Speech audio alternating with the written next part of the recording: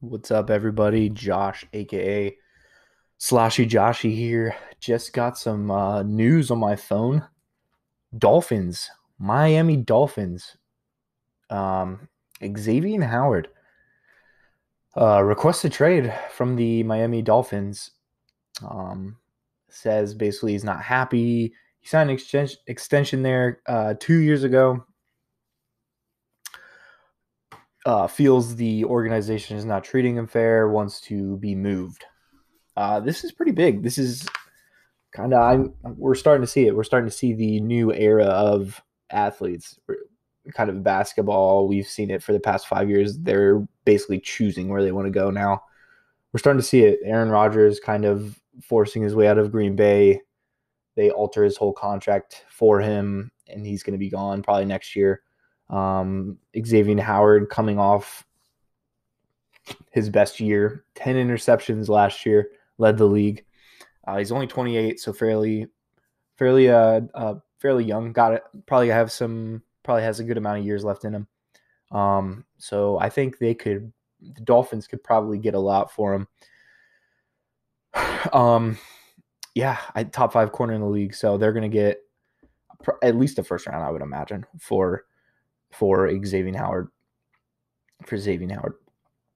Um, one, I'll, I'll, go over my my teams uh, in a minute, but actually I'll just go over them now. The first, the first team I would I would love to see this happen. It would be so cool, but um, Texans swap Deshaun Watson and Xavien, uh, Xavien Howard, and you know a couple of picks here and there, whatever. Uh, I would assume the Dolphins would have to give a first and Xavien, and then the Texans just send over Deshaun and maybe a fourth or something like that.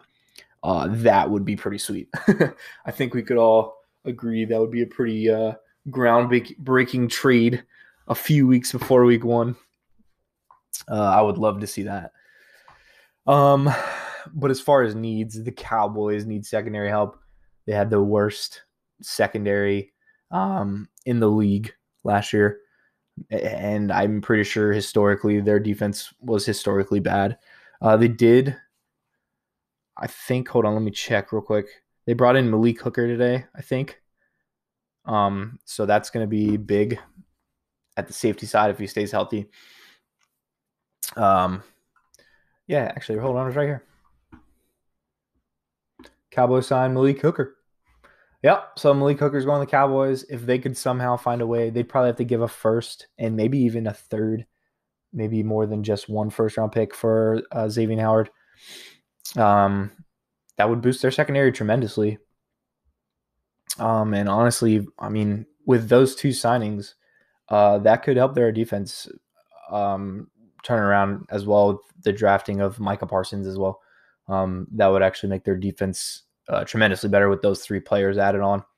Um, so yeah, let me know what you guys think where Xavien Howard's going to go.